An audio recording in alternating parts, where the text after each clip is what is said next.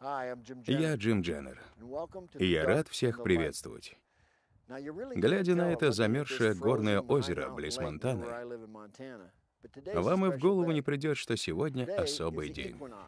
Равноденствие. Сегодня 21 марта, первый день весны в северном полушарии и первый день осени в южном. Без календаря я бы не смог отличить этот день. Но для животного царства он особенный. Смена времен года. Равноденствие случается дважды в году, в марте и сентябре. И где бы вы ни жили, это очень важный день для ваших голубей. Сегодня световой день равен ровно 12 часам. Но завтра день будет на 4 минуты длиннее. И еще на 4 послезавтра. И так далее. Через три месяца, 21 июня, день здесь будет равен 16 часам. И чем севернее, тем длиннее будет световой день. Но вернемся в настоящее. Увеличение дня после равноденствия сигнализирует нашим голубям о наступлении весны. А весна — это тепло, растительность, еда и время плодиться. И после летнего солнцестояния дни начнут укорачиваться. Это сигнал, чтобы сбрасывать оперение и отращивать новое, прежде чем наступит зима. Конечно, в голубятнях птицы оторваны от всего этого. Но увеличенные дни после равноденствия — это сигнал и для домашних голубей, как и для дикой фауны. Это самый мощный сигнал, который они получают. Об этом наш фильм Манипуляции со светом — одно из важнейших достижений в развитии голубиного спорта. Поскольку, управляя светом, увеличивая световой день или темноту, можно воздействовать на физическое состояние птиц и количество перьев на их крыльях во время сезона гонок. Есть много способов добиться этого, и в этом фильме вы узнаете, как использовать свет. Итак, мы начинаем наше путешествие через тьму и свет. Тьма и свет.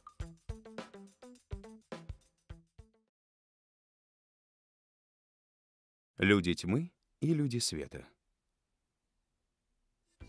Прежде чем прояснить этот вопрос, разъясним основные моменты. Сначала мы познакомимся с теми, кто помог нам сделать эту передачу. Обсудим силу света и как готовить птиц гонкам. Потом пообщаемся с голубеводами, использующими затемнение, чтобы выигрывать, и с теми, кто использует осветление. Начнем мы с наших друзей в Европе, которых вы видели в предыдущих передачах. Я отправился в Голландию и навестил Арчи Лакинза, одного из первых голубеводов, начавших манипуляции с затемнением. Арчи не приходится самому заниматься работой и занавесом, поскольку Янцов помогает выращивать его братья. Его команда все еще одна из ведущих в стране. Затем я полетел в Британию, пообщался с Фрэнком Таскером и Джеффом Картландом, старыми друзьями, которые начали использовать систему затемнения более 10 лет назад. Я также навестил Криса Сайленда. Он новое имя в глубинных гонках и обладатель нового рекорда в национальных состязаниях. В 2009-м Крис и его жена Денис завоевали пять первых мест. Их птицы оказывались среди лучших 50 31 раз. Тот самый день, когда я стоял на замерзшем озере в Монтане, эти великие голубеводы приступали к затемнению. Вы услышите, как и зачем они делают то, что делают. Некоторых из этих голубеводов в Англии вы, возможно, раньше не знали — Карл Апсел и его партнер Тревор Фрост применяют довольно простой метод затемнения, который может опробовать любой. Неподалеку от них Диаринг Питерс, тоже местный профи, являющийся не только обладателем выдающихся результатов, но и хозяином прекрасной голубятни. И, наконец, я посетил Дэвида Гловера, также известного британского голубевода. Он умеет хорошо объяснять и прекрасно знаком с процессом затемнения. Таков краткий обзор британцев-голубеводов, использующих метод затемнения. Но будь этот фильм лишь об одной системе, я бы на том и остановился. Но он называется «Тьма и свет», И потому нельзя не упомянуть практикующих противоположный метод и отнюдь не безуспешно. Таскер, Питерс, Апсел и другие могут считать себя мэтрами в округе Бостон, Старой Англии.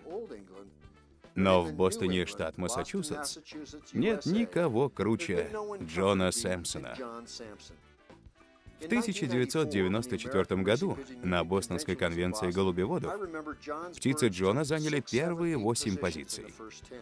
Во время открытого первенства в прошлом году команда братьев Сэмпсонов побила все рекорды, заняв первые девять мест при пяти тысячах птиц. Его успех не оставался в секрете надолго. Он выпустил подробный фильм про свой метод — использование света для контроля линьки у молодых птиц. Когда я начал работать над этой темой, я связался с Джоном, и он любезно разрешил мне использовать кадры из его фильма. И к этому экскурсу в прошлое, когда 15 лет назад Джон рассказал про инновационную систему, я хотел бы добавить и новые материалы от его последователей. Так я отправился в Калифорнию навестить Алекса Бича и других славных калифорнийских голубеводов, которые также применяют свет. Я остановился у Стива Стерчи, птицевода, для которого это и работа, и игра. Он выращивает почти 30 тысяч фазанов, а по выходным тихий фермер превращается в отчаянного участника голубиных владельца второй голубятни в Америке. Стив во многом обязан своим успехом системе освещения, концепции, которую он разработал с Алексом. Мы также познакомимся с работниками фермы Джина Тембрика, который выращивает орешник на этих равнинах. В 2008 году его голуби были одними из лучших в Америке. Джин также разводит скаковых лошадей. И мы поговорим об использовании системы осветления при работе с лошадками. Алекс Бич отказался от контракта по глубинным гонкам и теперь занимается совершенствованием системы освещения. Что-то в его работе похоже на работу Джона, а что-то есть новое. Алекс также снял фильм про свои методики. Я рекомендую посмотреть фильмы обоих. Они есть в продаже. Там более подробно расписаны нюансы, чего мы не можем сделать в данном обзоре. Информация по ним будет в конце передачи. Итак, следующий час вы проведете в компании с лучшими голубеводами как Европы, так и Соединенных Штатов. Надеюсь, что к концу программы вы разберетесь в том, что собой представляют эти системы манипуляции светом.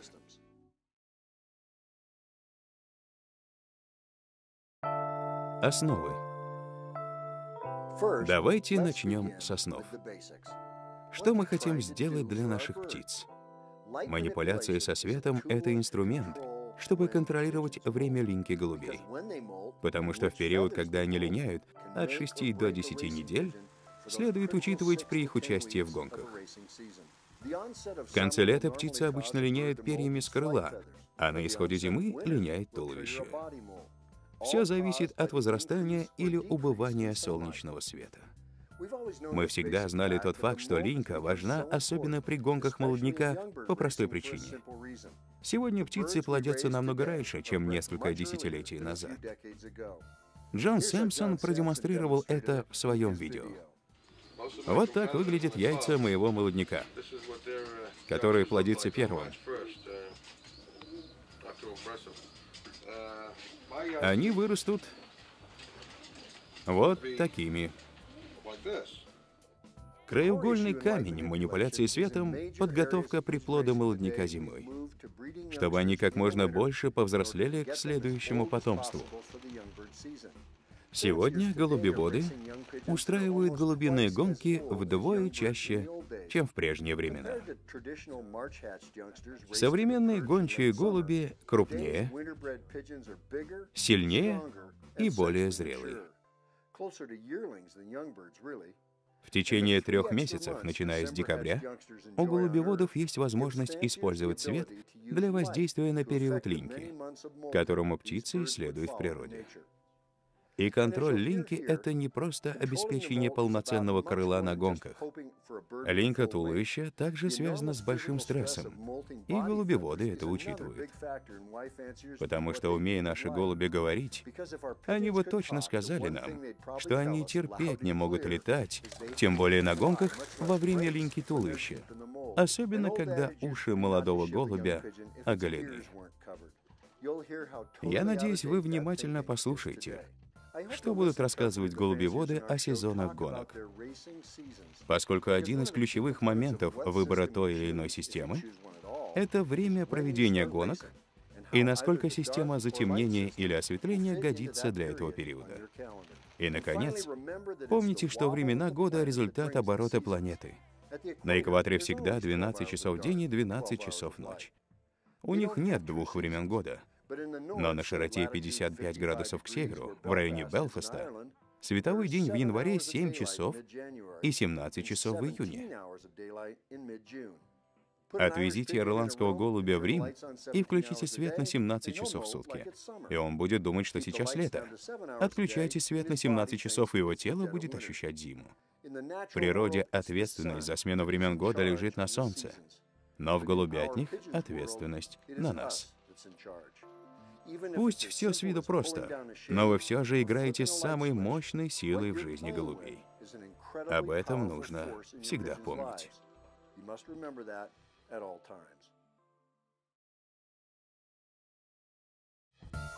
Сила света.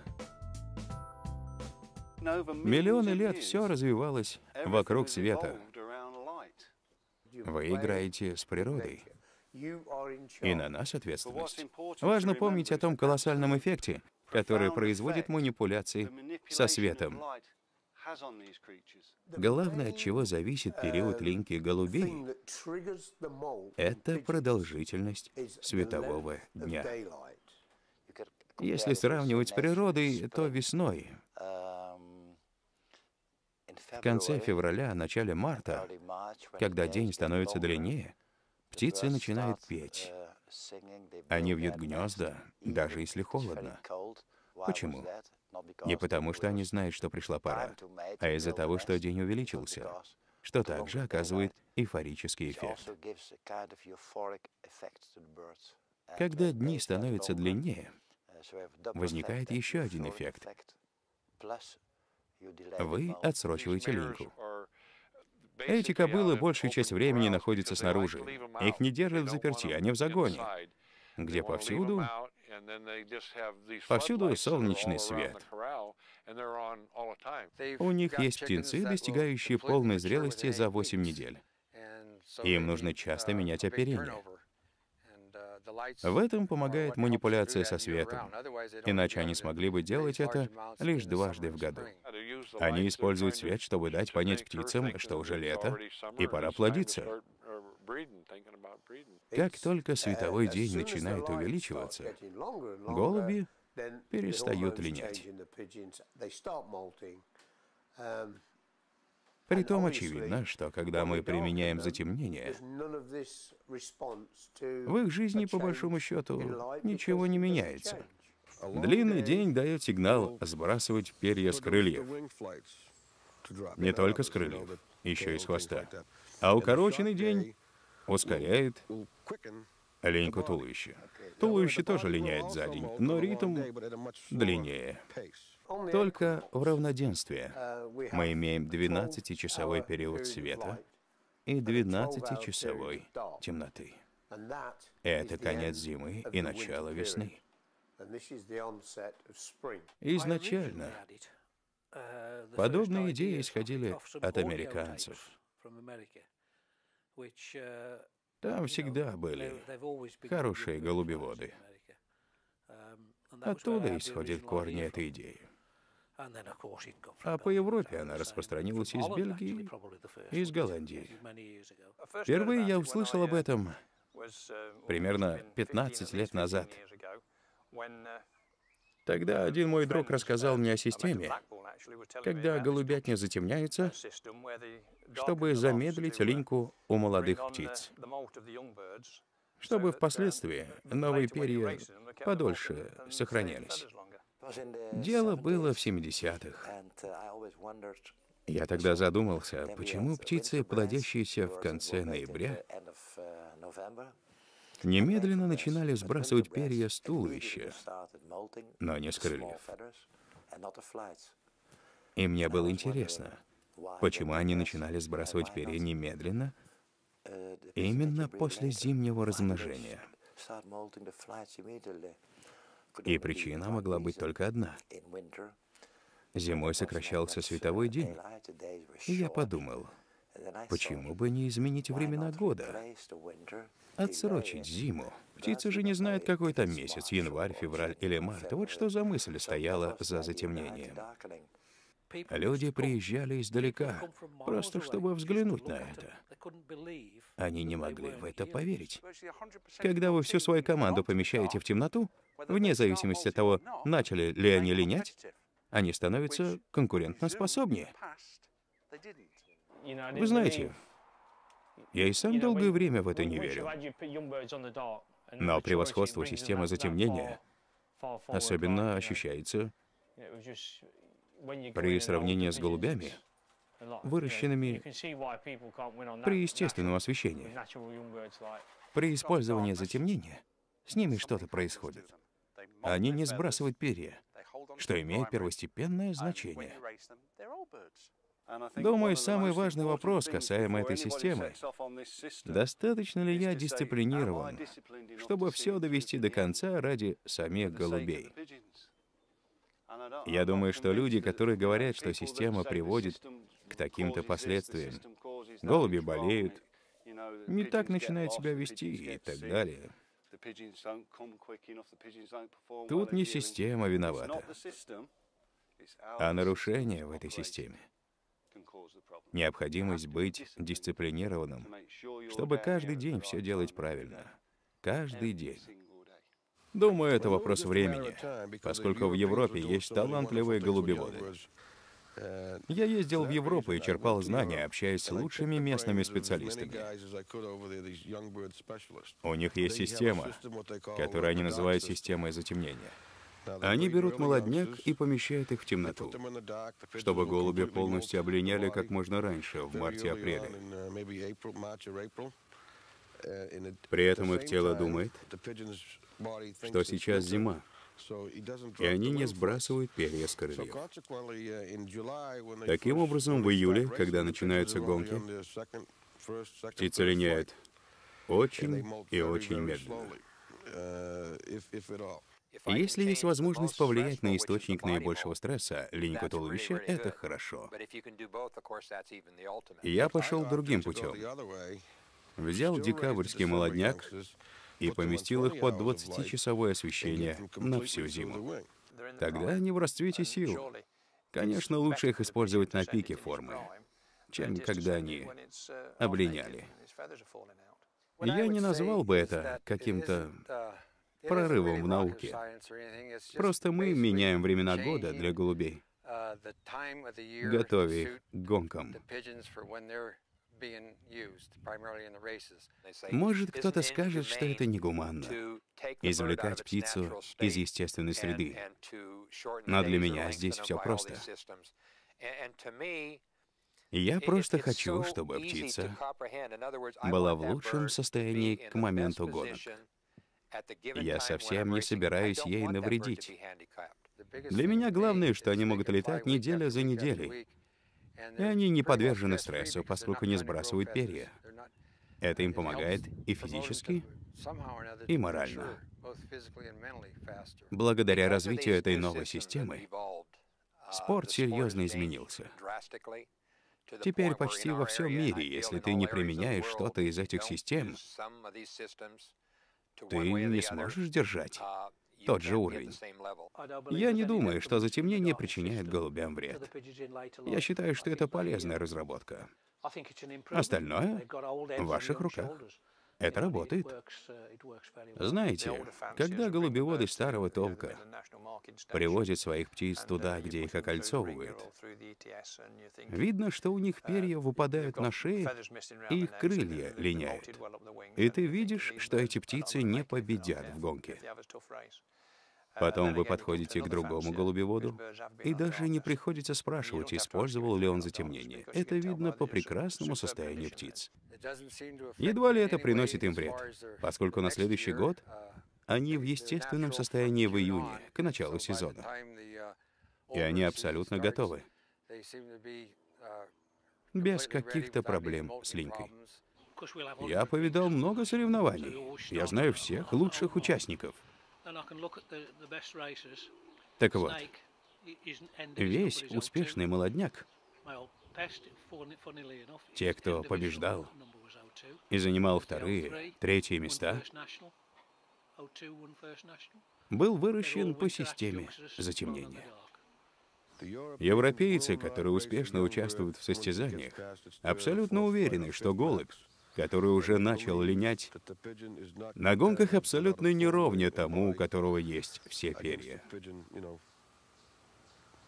И очевидно, что нельзя выпускать голубя на последующие гонки, если он начинает линять. Зачем же их? Зря мучить. Каждый с этим сталкивается. Если пустить все на самотек, то да, мы все сталкиваемся с этой проблемой. Но если мы изменим период линьки, усовершенствуем ее, мы можем ее решить. Это способ не подвергать птиц стрессу. Потому что линька — самый тяжелый этап жизни голубя. Утверждать, что это противоестественно, просто глупо. Я только качаю головой, когда слышу этих ребят. Все совсем наоборот.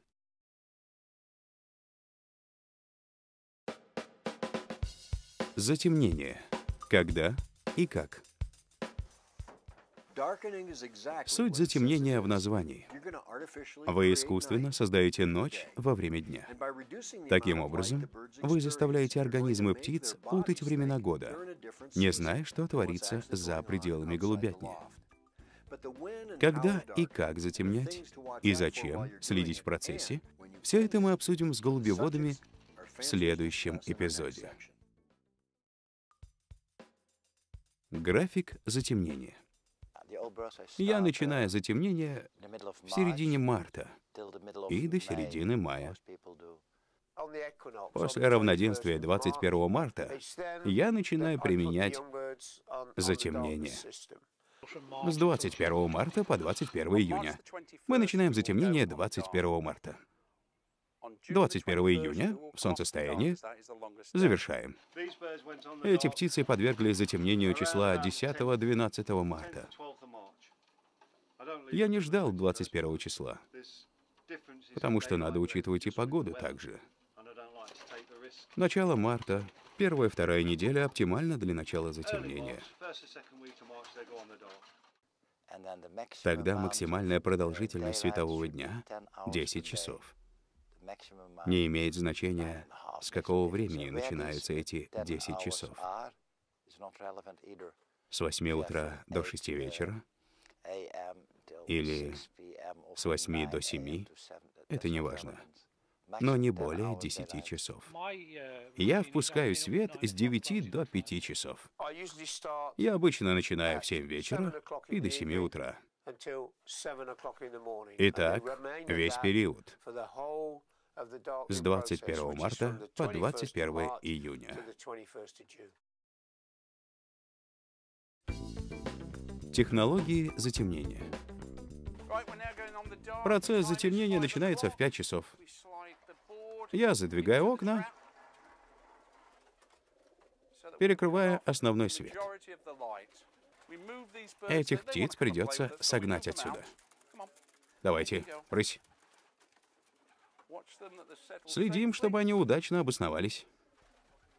Задвигаем нашу шторку. Это просто старое покрывало. Перья из него все вытащили.